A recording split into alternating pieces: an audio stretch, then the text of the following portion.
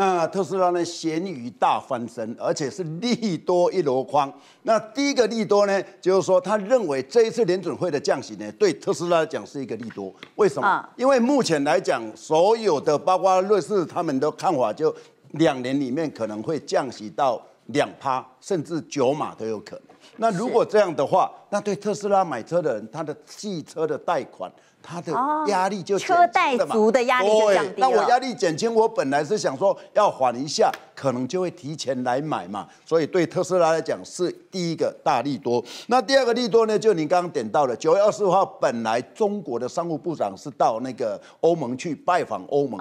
九月二十五号本来是欧盟要召开会议，到底对中国的电动车三十三趴的这样的课税。要不要重新讨论？结果有十五个国家反对。那欧盟它有一个内规，只要有一个国家反对，这个法案就不用讨论了。所以那个已经就是解除了。那解除当然对特斯拉来讲就是利多啊，它是针对中国车，没有针对美国车嘛，所以它是一个利多。第三个利多呢，就是它的一个无人计程车在下个月就开始要亮相。那这个亮相呢，哇，华尔街的那些投资人真的打了鸡血啊，整个兴奋的不行啊。他认为这是一个新的东西，它是一个新的产品，而且除了这个产品以外，可能还有我们不知道的新的东西要出来，哇，不得了了。所以昨天大涨七八，就是因为华尔街看好，甚至有一些空头已经这。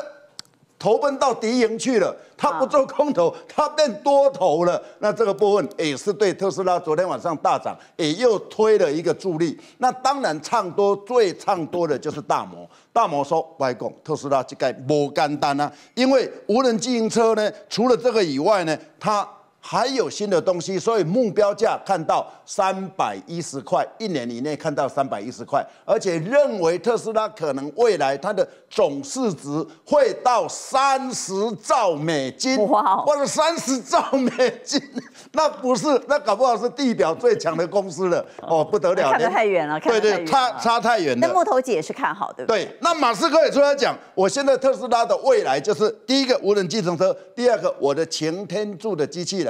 空头你一定会被消灭，不管任何人，连如果是比尔盖茨来做空的话，我还要照样的消灭你。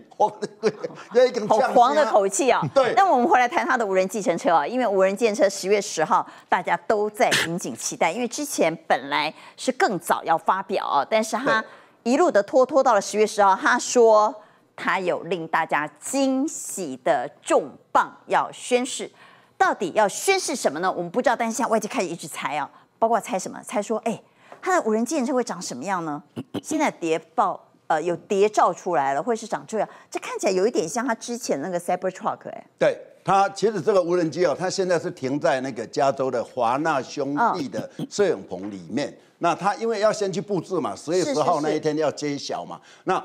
偷拍的照片已经出来，那这个老保守了。当然故意让你看一下下。那这个偷包偷拍里面哦，他以前都是伪装，这一次是所有全部都是用黄色的胶带贴着。这一台就是无人这无人的计程车。那目前来讲，可以让你看到的第一个车尾灯，车尾灯就是赛博卡车的车尾灯，所以车尾灯很大。第二个呢，它后轮大于前轮，所以不是四个轮子都一样，跟我们以前的车子四个轮子通通大小一样。第三个呢，它有一个。很大的置物箱，这个谍照来，对，后轮在这里嘛，对对，大于前轮，所以后轮大于前轮。不过看起来好像只有两个人的座位，对不对？对对对，那只有两个人的座位，嘿，所以你如果四个人的话，你就叫两部，哎，它里面没有人啊。但是它后车厢很大，哎，后车厢很大，因为我知道你你们像出国，你可能要到游轮去，你可能要带三个行李箱，而且你回来又买很多，所以你我我如果你们两个人坐的话，那后面你说。我没办法，那怎么办？那你一个那有没有可能他的无人机人车一开始是要做物流？有可能哦。呃，也可以，它也可以变成货，因为它后面的这个车厢很大，全部给它打打掉的话，就变货车了，也可以当货车。还有车顶有一个凸出来的，那就是光学雷达的接收器。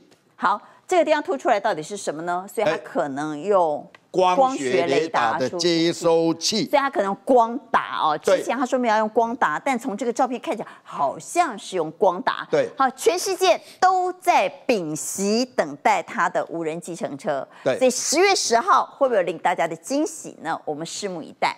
其实它的力度不是只有如此了，包括我们刚刚所谈到的关税，哎，也传出好消息。它的无人计程车也传出好消息，甚至于外资现在对他的目标价也都往上调升啊。对。那么自己马斯克自己讲了啊，他说他的股价他认为是委屈了，所以真的是委屈了嘛？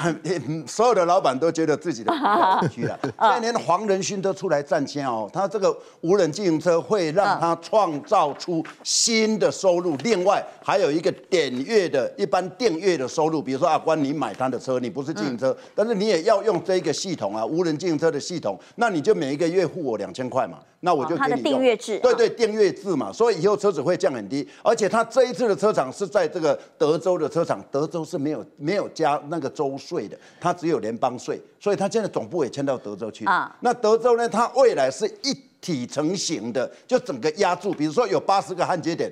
完全没有焊接点，就一体成型，它可以成本降低百分之四十，重量降低百分之十，所以未来就是大拼价。你以后无要紧，我跟你迄、那个迄、那个比亚迪来拼，我一台吼车吼，我可能甲卖你六十万台票呢。所以他我车子不赚钱了，我就是要赚其他的收入。所以这一次大家会看的那么好的原因是这个地方。好，那我们来看一下股价了哈。是大家真的都看得这么好吗？我们来看相关的特斯拉概念股啊，因为特斯拉概念股。今年以来表现算是抛通抛通娘了哈。对。那如果从法人的筹码来看，台湾的特斯拉概念股并没有得到法人的青睐。呃，其实如果说哈、这个车体本身啊啊，以后它会降价的话，它一定是往上砍价嘛。它除了自己的成本 cost down，它一定砍你的嘛。所以它的所以理论上来讲对你从长线来讲不是利多。那做连接器的，这其实都已经涨到很高，四百多块，这是我们一辈子从来没有看过的，四五百块。上次我还跟他董梁吃饭，哦，新疆人要探探高红诶，弄弄。那顺德也涨很多，，顺德，对对对，这个最近也是、啊也也是涨的，最近这个涨出来，这街舞当下爱注意的，就是说以后本益比太高的话，也是要要小心，因为特斯拉他已经讲了，我以后百分之九十我是靠软体的收入了，我百分之十才是靠车子的收入，甚至连车子，我觉得他们都可能在损一瓶你就卖，就像我们现在在买买那个列表机一样，我列表机不赚你的钱，但是你要买我的墨水，而且我的墨水是比外面贵的贵的要死，就类似这样的一个情况。